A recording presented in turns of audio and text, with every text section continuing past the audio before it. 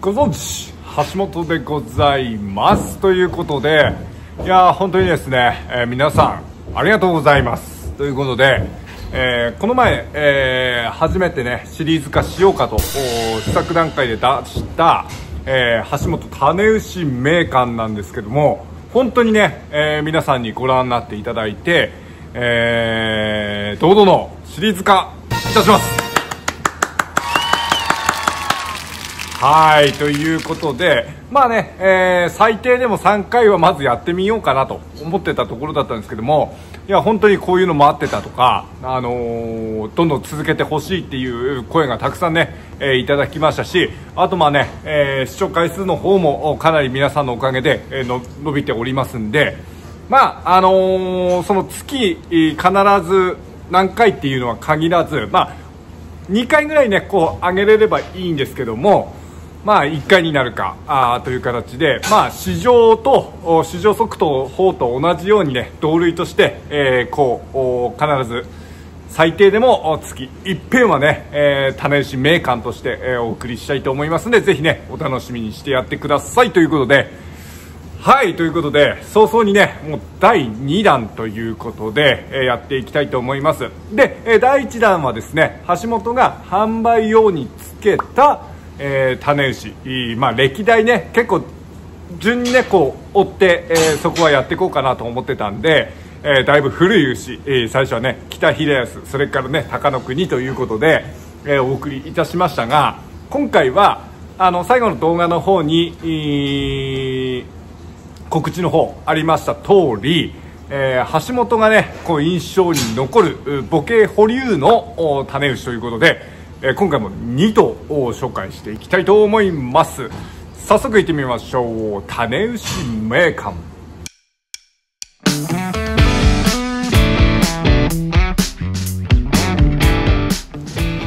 はいということで、えー、今回の種牛、えー、堂々のね母系、えー、保留牛種牛ね、えー、1頭目は山形県が誇る機関周牛といったらこいつ。花国でございます。はいということで、えー、もうねあの地元っていうかあの私のことをね昔から知っていらっしゃる方だとあやっぱりなという形になるかと思いません思うんですけどもあの第一花国でございます。まずね、えー、うち系始めてうちのこうお前頑張ってんなってこう言われるようになったのがこの第一花国のおかげでございます。はい、えー、うちでですね、まあ、平成20年からあ契約をスタートしたんですけども、まあ、その時ね、えー、最初の牛を揃えるにあたってメス親牛をね揃えるにあたって、まあ、何にしようかなと悩んでおりました。で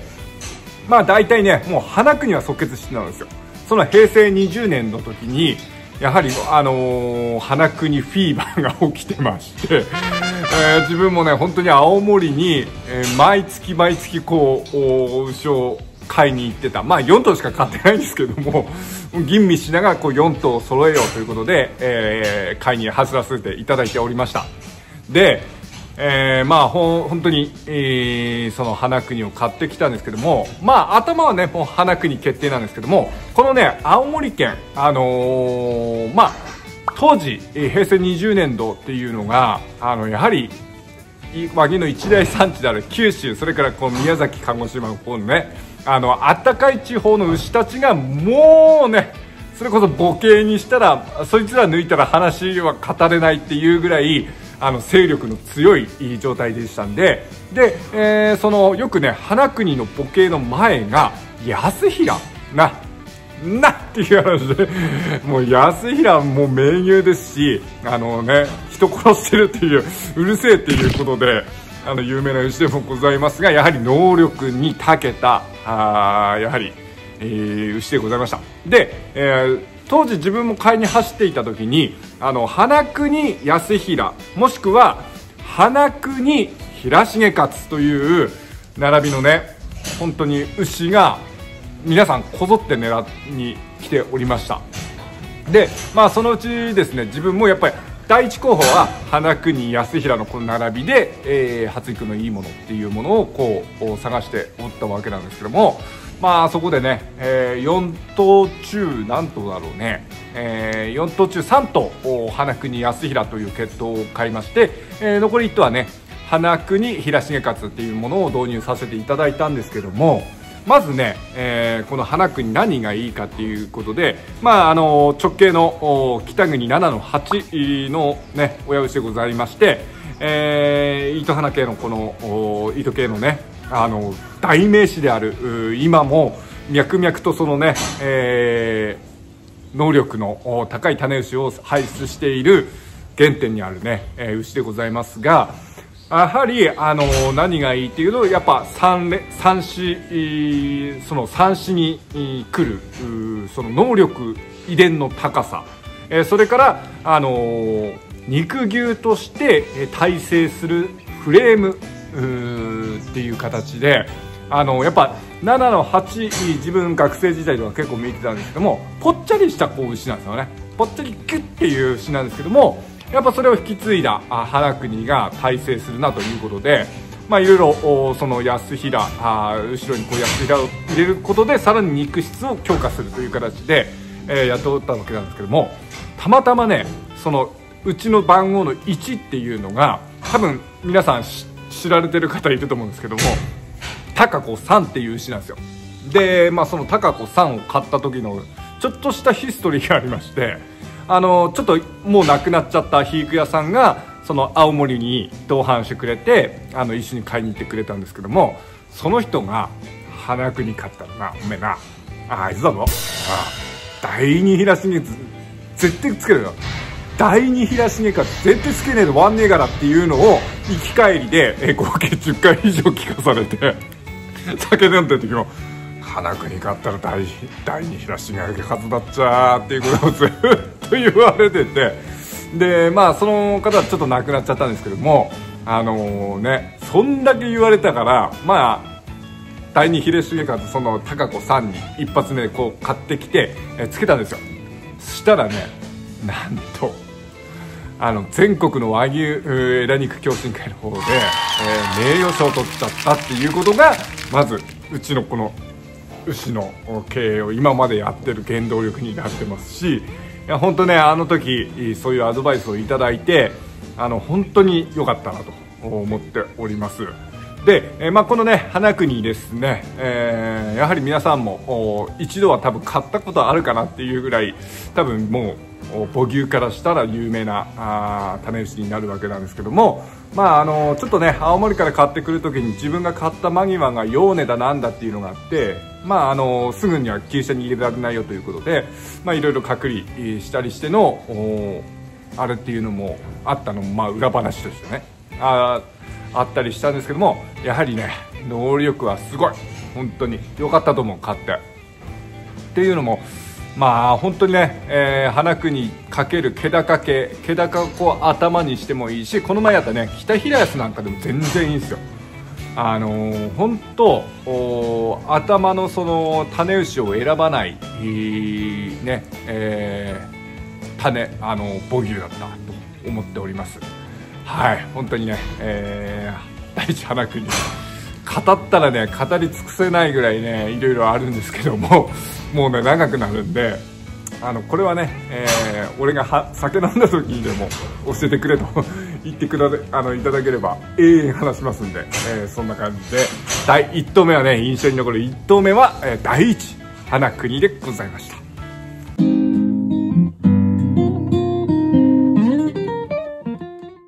はい、えー、それではね2投目でございます。2投目はですねはい。それもまた、えー、花国と同時期に、えー、導入するという形になって、えー、うちでは何頭だろう？3頭4頭？3頭かな？3頭4頭どっちだっけかな？ちょっと忘れちゃったんですけど確か4頭だったはずなんですけども、え、導入いたしましたのが、え、宮崎県の基幹、え、私有牛でございます。忠富士でございますます。はい。まあ今ね、えー、本当にその導入した忠富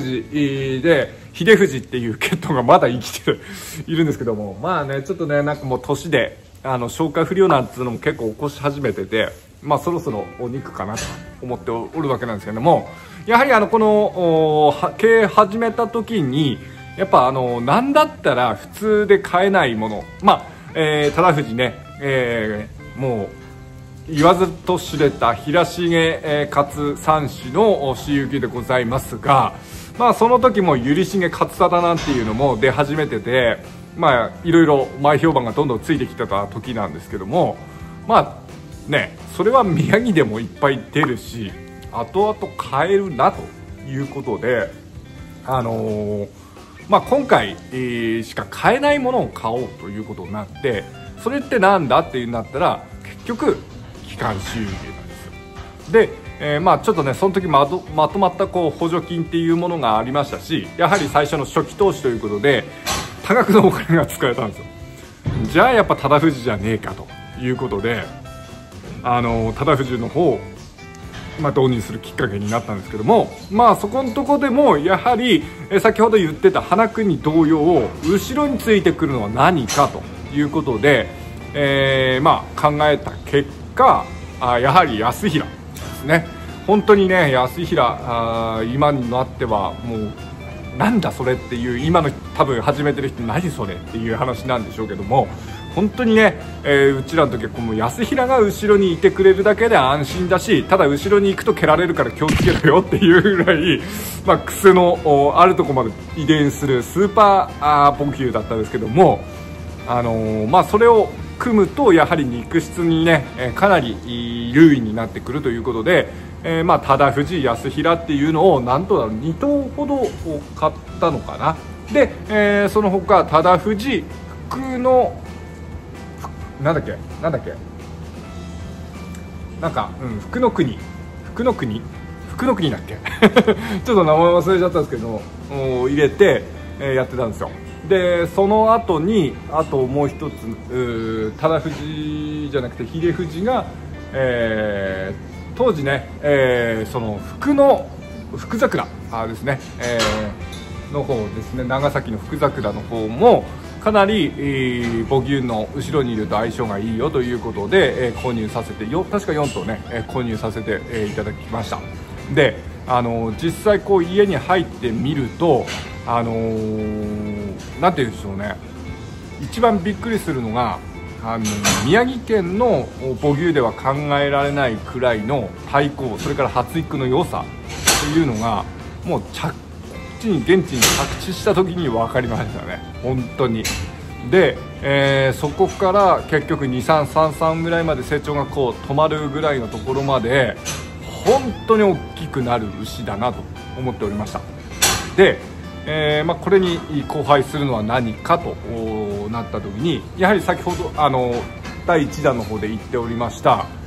あの北平安が抜群でした。あの本当ね田平安とこの忠藤の相性っていうので、まあ、うちはあ肥育屋さんから「お前をいい牛出すな」っていうことで、えー、まあ評価を得たあところでございましたしやはりこの組み合わせねあのー、本当に気高がこう一番上にいてまたこの安平でこう戻すっていうところがやっぱ相性良かったんでしょうねで、えー、まあその安平が頭にいるとは思えない、えー、北平安の穏やかな性格っていうのも相まって本当に発育良好で、えー、スラッとまとまってくれる牛がかなりできてたかなと思っております。はいでまあね、えー、この忠藤、まあ、ううちでもまだ いるんですけども、あのー、本牛ですね。本牛はなんとね残念なことにあの宮崎で発生しました口蹄疫の時に口蹄疫の陽性が出まして最終的には殺処分ということで本当にね、えー、ナンバーワンの私有牛だったんですけども惜しまれつつ、あの、殺処分という形になってしまいました。本当最後はね、えー、悲しい幕引きだったなとは思うんですけども、まあ、こうそれが元手となって、えー、私有牛なんていうのも誕生しておりましたしましてはですね、その忠藤が全国にこう飛び回って、まあ、うちでも本当に優秀な母牛として現在でも活躍活躍してますしそれのやっぱ遺伝子っていうのは脈々とこう受け継がれている牛だなとは思っております。はいということで今回ま2頭目ですね、えー、忠藤の方をお送りいたしました。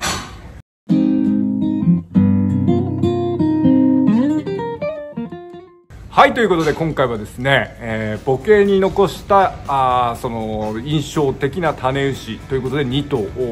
第一花国それから、えー、忠藤ということでお送りいたしました。まあどっちもね本当にもう正規は多分あるんだろうけど誰も使わないようなあ正規にはなってきてはいると思うんですけどもやはりそのね、えー、今いるやつら、あのー、その2頭がいたからうちの経営がありますしやはりそれを今引き継いで、え、活躍してる孫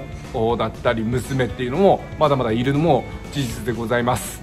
やはり、え、本当にいい牛との出会いっていうのは一期一会でございますんでねえー、まあ、この好きな相性だったりあれっていうのも、まあ、あと自分のこうね、えー、話も参考にしていただいて、えー、そういえばこんなことあったなこんな牛いたなっていうことも今後ね、え聞いていただければと思います。はいということで今回は、えー、母牛で残した、種牛名鑑、えー、母牛種牛ということで、えー、今回はお送りいたしました、